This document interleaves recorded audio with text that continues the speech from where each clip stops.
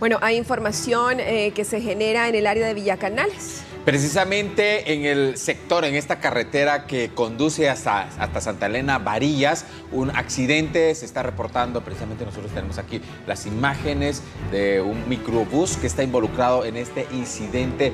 Pues fuerte accidente es lo que reportan las autoridades. Fuerte accidente de tránsito en Villacanales, exactamente en el kilómetro 35.